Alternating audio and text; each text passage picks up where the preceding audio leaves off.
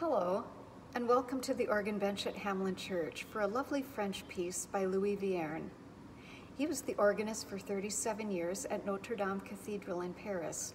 Before that appointment, he was an assistant to Charles Marie Widor at Saint-Sulpice, another great Parisian organist.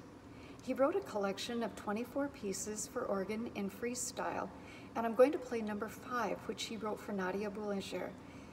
She is notable for having taught many of the leading composers of the 20th century, including many from the US, such as Aaron Copland. If you ever took piano lessons, your teacher probably taught you to play the major scales. The C major scale is the one played all on white keys. But between the bottom C and the top C, there are also five black keys. And if I play every single white and black key from one C to the next, that is a chromatic scale.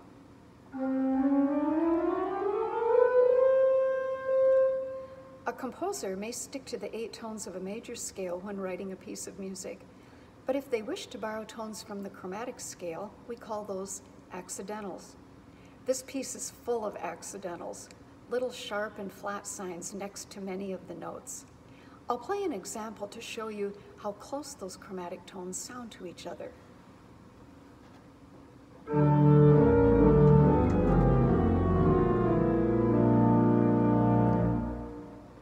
On paper, we call these little extra sharps and flats accidentals. To a student learning a new piece, they may seem to be an obstacle or a nuisance, but to a listener's ears, they have potential for beauty and delight. I hope you enjoy this little chromatic piece.